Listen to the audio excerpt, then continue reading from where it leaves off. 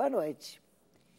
Ele é um dos gaúchos presente na nona Bienal do Mercosul. Também é um artista presente no Sesc Vídeo Brasil, que acontece nesse momento. E também foi um dos seis artistas nacionais participando do SESI Arte Contemporânea, um projeto do Centro Cultural do Sistema Federação das Indústrias do Paraná. Entre 240 inscritos, ele foi um deles. É com ele. Com o Michel Zósimo, que vamos conjugar verbos na primeira pessoa. O Michel nasceu em Santa Maria. Ele fez, tentou vestibular, vou dizer medicina, administração, veterinária, informática, desenho industrial. E lá pelas tantas ele sabe, sabe uma coisa? Eu vou para educação artística. Foi. Gente, deu certo. Ele fez na Universidade Federal de Santa Maria, fez mestrado em artes visuais aqui na URGS e está fazendo seu doutorado aqui também na URGS. Ele, no seu trabalho de mestrado, ele criou um remédio, droga do artista que depois ele estendeu. Tem droga de museu, tem droga de curador e etc, etc e tal. Ele ganhou um prêmio de melhor exposição no Centro Cultural de São Paulo, isso em 2010. Isso lhe deu direito a uma bolsa em Barcelona. Ele passou um período, que um ano em Barcelona? Não, não, um mês. Um mês? Um mês. Uau! E resultou num trabalho fantástico sobre o qual ele vai falar aqui depois. Resultou num livro. Atualmente, além de estar trabalhando, ele como artista, ele trabalha no Colégio de Aplicação. Tudo bem, Michel Tudo Zósimo? Como é que está, hein? Participando bem? da Bienal, como é que está te sentindo? Ah, eu não sei, eu, eu, fiquei pensando nisso e recebi algumas, recebo sempre essa pergunta de como está a impressão, né? A Bienal foi fundamental no meu processo uh, pedagógico no sentido de repertório visual. Hum. Foi a partir da Bienal, desde a primeira edição, há 18 anos atrás, que eu como pequeno, ainda criança, vim com a família olhar. E aí depois, estando na que ainda não sabia o que ia fazer? É, não sabia, né? É. Não sabia. E aí depois, já estando na faculdade, né, todo de dois em dois anos a gente vinha com excursão para Porto Alegre e era, era, assim que a gente construía nosso repertório, né? Uhum. No início, imagina, 2000 não tinha muita internet, então a, o acesso era através físico mesmo, da presença ah, diante da obra, né? Uhum. Vocês pegavam um guia para acompanhar ou, ou tu vezes, te permitias ir sozinho? Às vezes a gente pegava assim uma monitoria. Eu particularmente prefiro estudar antes sobre aquele trabalho e ir sem a presença de, de monitoria, né? Uhum. Se bem que a monitoria é super importante, principalmente para o grande, grande público, assim. Mas eu acho que o filtro da monitoria pode, em certos momentos, eh, dificultar o contato que a gente tem com com, com o trabalho, né? Uhum.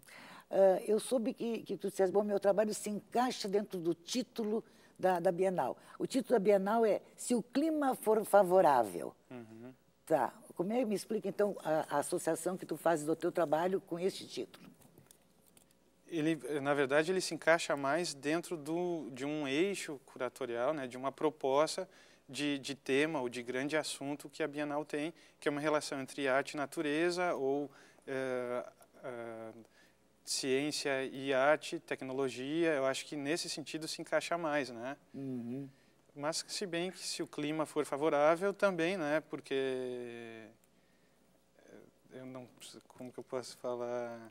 Qual é o clima que precisa ser favorável no teu projeto, no teu uh, projeto de criação? Quando tu tá, estás criando, qual é o clima favorável? Eu, o meu processo de criação é muito intuitivo, assim. Então eu, eu, é, eu trabalho com livros. A, grande parte do meu, do meu processo de trabalho parte de um livro, de uma enciclopédia, de um livro antigo, didático, onde eu começo a folhear e não sei o que eu vou encontrar ali. Uhum. Encontro alguma imagem que no, no primeiro momento é estranha para mim. Imagem. Imagem extraída daquele contexto, muito estranha, e a partir disso começo a criar relações, estabelecer significados outros que não estão naquele contexto original. Uhum. Então, o clima favorável para mim é um clima mais dia de chuva, sabe? Uhum. Clima que, um dia que está nublado. Uhum. Tá, e é. psiquicamente também deve ter um clima mais favorável ou menos. Se de repente tu está triste, está alegre, tem uma boa novidade, não tem? Tem, mas eu, eu o tá apaixonado, processo, não está? Meu processo de trabalho é quase que diariamente eu estou criando, assim. Uhum. Então, todo dia eu estou folheando algum livro, estou mexendo nos materiais que eu tenho, que é daqui a pouco alguma série, alguma coisa vai surgir dali. Uhum. E sempre tu partes da imagem. A partir da imagem, tu vais para o conteúdo? No livro que tu está pesquisando, que tu está folheando? Em alguns casos, sim parte de um parte primeiro de um estranhamento com essa imagem, né? Por exemplo, eu encontro em um livro, em uma enciclopédia da década de 20, de um pesquisador alemão que foi traduzido pro, no Brasil, que chama Fritz Kahn, que foi um era um médico originalmente e que começou a produzir livros didáticos uh, eh, para as escolas sobre ciência. Uhum. Encontro uma imagem de um grande meteorito, de uma grande pedra ao lado de uma cadeira. Me parece muito estranho nesse primeiro momento ter contato com essa imagem, né? Com essa imagem onde tem dois corpos muito distintos flutuando no mesmo espaço, uma grande, um grande meteorito e uma cadeira, uhum. uma cadeira vazia. Isso me chama muita atenção, me, me, remete à imagem de arte conceitual, me remete a imagens uh, uh, de, de, realismo fantástico, uma, parece uma coisa meio de filme de ficção. Ah. Eu recolho essa imagem do livro, guardo ela penso em fazer uma fotografia, penso em fazer uma instalação e num segundo momento vou entender que aquela cadeira ali está ao lado da pedra como um índice de escala, por exemplo, uhum. que é uma que é uma como que eu posso dizer é uma é uma lógica científica de, de tipologia fotográfica que é sempre ao lado de uma ao, ao lado do objeto fotografado, ao lado do objeto de estudo se coloca um referente, uhum. uma moeda, um anel e no caso do meteorito uma cadeira. E tu tens um trabalho nesse sentido, meteorito e a cadeira? Tenho, tenho. Uhum.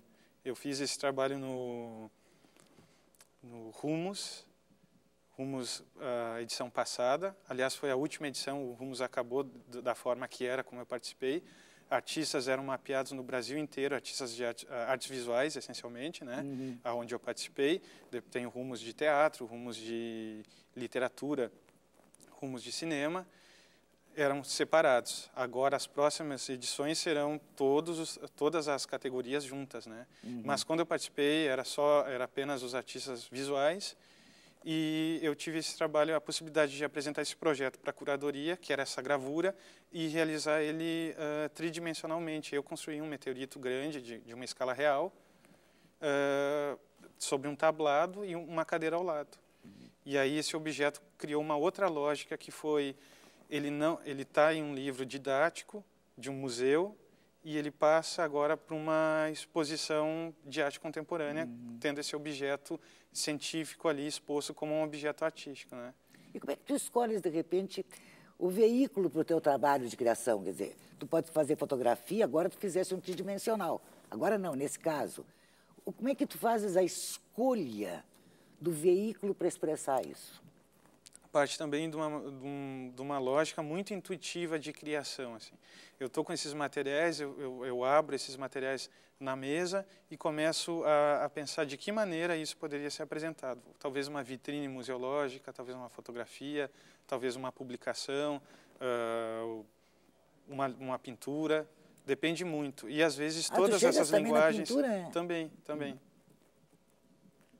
e às vezes todas elas misturadas. Misturadas. O que é que tu estás expondo nesse momento? Qual é o teu espaço primeiro? Tu estás no memorial. Eu estou no memorial, no segundo andar do memorial, onde tem uma, eu criei um ambiente. O trabalho em si, o projeto, foi apresentado já há um, há um ano e meio, um, cerca de um ano, para a curadoria, onde, assim, foi, é, long, é um longo processo de negociação, se o trabalho realmente se enquadra dentro do perfil de, dos outros trabalhos, se o trabalho realmente vai tocar as questões que interessam para a Bienal. Enfim, o projeto apresentado é uma. Eu encontrei alguns escritos de um, de um judeu alemão que fugiu da Alemanha na década de 40 e veio para uh, em Porto Alegre. Hum ele trabalhou durante muito tempo como tradutor, dos anos 50 aos anos 70, ele tra trabalhou como tradutor de livro do alemão para o português. Uhum. Mas, ao mesmo tempo, esse pesquisador que chama Augusto Maier, ele pesquisa, ele escrevia sobre assuntos estranhos que não tinham uma categoria específica para ser vinculada. Ele não publicava essa pesquisa. Ou seja, não é Augusto Maia que a gente conhece. Não, é diferente. Se uhum. escreve com com Y. É, é Y. Uhum. Não, mas é Meia, não é? é. Augusto Meyer. Uhum. E eu estou falando do Maier.